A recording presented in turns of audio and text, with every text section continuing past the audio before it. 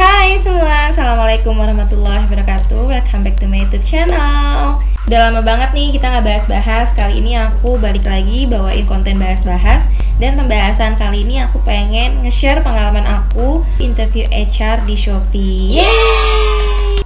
Jadi alhamdulillah guys, aku habis keterima kerja di salah satu perusahaan e-commerce terbesar yaitu adalah Shopee. Dan seperti yang diketahui banyak orang kalau Shopee itu agak susah untuk ditembus dan banyak yang berminat juga untuk masuk di Shopee. Jadi kali ini aku pengen nge-share ke kalian nih gimana sih pengalaman aku saat interview HR di Shopee. Nah nanti aku juga akan membagi pengalaman aku saat interview user. Jadi kalian tunggu videonya dan video ini jangan di skip tonton terus sampai habis ya. Jadi pengalaman aku interview HR di Shopee itu benar-benar menurut aku itu pengalaman terbaik sih.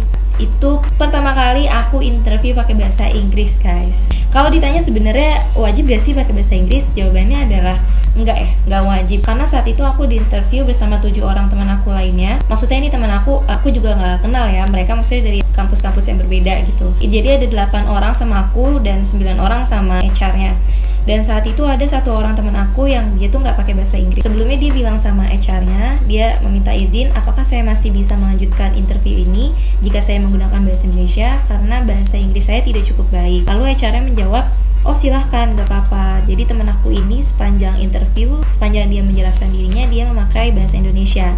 Sedangkan aku dan enam orang yang lainnya itu memakai bahasa Inggris dan itu bener-bener pengalaman pertama aku untuk interview pakai bahasa Inggris. Deg-degan sih ada ya deg-degan karena pertama kali sih jadi wajar kalau deg-degan. Dan itu ya sepengalaman aku interview HR itu nggak wajib pakai bahasa Inggris gitu. Tapi aku nggak tahu ya kalau ternyata divisi-divisi lain memang mengharuskan untuk interview memakai bahasa Inggris. Oh ya, by the way, aku apply untuk divisi Business Development di Shopee dan saat ini aku mendapatkan Business Development dengan subdivisi itu CTRM atau Relationship Management. Oke, lanjut apa aja sih yang ditanya di HR? Sebenarnya ini umum banget yang ditanya di HR dan mungkin kalian udah pernah nonton video-video di channel YouTube yang lainnya dan pernah dengar juga dari komentar-komentar atau mungkin dari teman-teman kalian, kerabat kalian tentang gimana sih interview HR di Shopee. Dan ini pengalaman aku kemarin itu HR itu hanya mengumpulkan informasi secara umum. Jadi saat itu aku cuma disuruh sebutin nama kalian, terus uh, kampus kalian, asal kampus kalian, lalu las GPA atau las IPK kalian berapa, lalu domisili sekarang itu kalian tinggal di mana dan apakah kalian punya SKL atau ijazah dan apakah kalian bisa masuk Shopee secepatnya gitu. Jadi kalian ditanyain kapan kalian bisa masuk Shopee apabila kalian lolos untuk tahap selanjutnya gitu. Jadi enam pertanyaan itu yang wajib kalian utarakan saat kalian menjelaskan tentang diri kalian gitu. Terus gimana? Boleh gak sih nyebutin kelebihan dan kekurangan kita? Terus nyebutin pengalaman kita?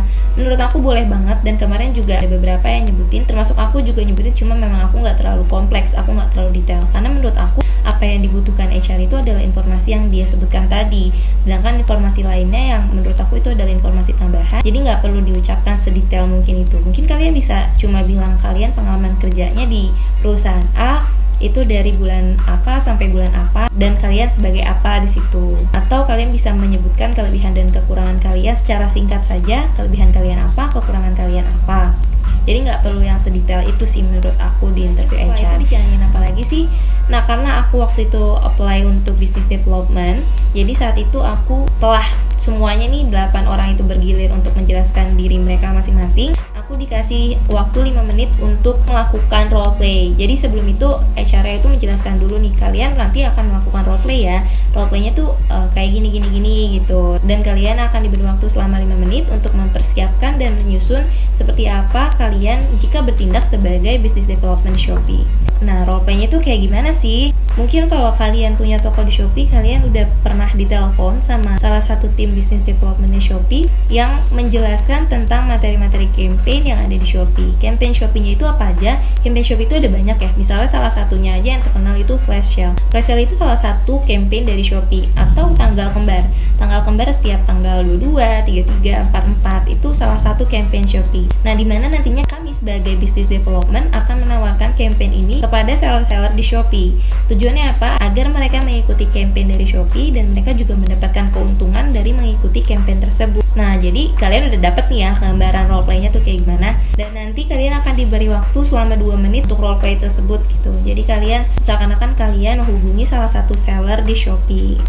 Contohnya kayak gimana sih? Contohnya misalnya kayak gini. Halo selamat siang. Apakah benar saat ini saya tengah terhubung dengan Kak Adi selaku pemilik dari toko Shopee XYZ gitu. Nah, nanti kalian di situ beda-beda ya HR-nya. Ada yang mungkin kalian diwajibkan untuk monolog atau nanti dijawab langsung sama HR-nya. Kalau kemarin aku itu monolog ya. Jadi aku menghubungi salah satu seller nih. Nah, di situ aku ceritanya ya pura-puranya aja seller itu udah yang menjawab. Jadi saat tadi aku aku bilang, "Kalau apa benar ini dengan Kak Adi selaku pemilik dari toko Shopee XYZ?"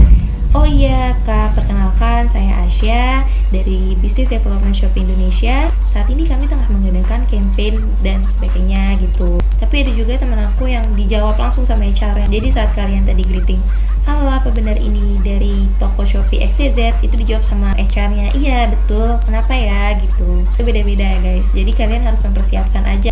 Kalau memang kayak gitu eh, kira-kira jawaban apa nih yang cocok untuk komunikasi selanjutnya Nah, jadi itu aja sih sistematika dari interview HR yang ada di Shopee sepengalaman aku kemarin. Oh iya, FYI, aku interview HR itu di tanggal 25 Februari 2022. Jadi aku interview HR itu tanggal 25 pagi, terus sorenya itu aku langsung di WA sama HR yang ngehandle aku itu untuk mengikuti interview user, tapi di tanggal 2, sekitar semingguan ya baru aku interview user. Nah, mungkin nanti aku akan bahas lebih lanjut di video selanjutnya tentang pengalaman aku interview user. Nah, jadi itu dia pengalaman aku interview HR. Selamat mencoba buat kalian ingin mencoba. Tidak ada yang tidak mungkin dan aku yakin kalian juga bisa. Gak perlu takut, takut misalnya harus pakai bahasa Inggris gitu. Itu gak perlu. Kalian bisa belajar dari sekarang. Kalian bisa menghafal dari sekarang. Pokoknya semuanya itu sekarang serba mudah menurut aku kalau kalian mau berusaha. Jadi jangan putus asa, tetap berusaha semaksimal kalian dan jangan lupa berdoa, minta restu juga sama orang tua. Oke? Okay? Makasih buat kalian yang udah nontonin video ini sampai habis dan jangan lupa untuk tonton video aku yang lainnya ya. Sampai ketemu di video aku selanjutnya. Dadah.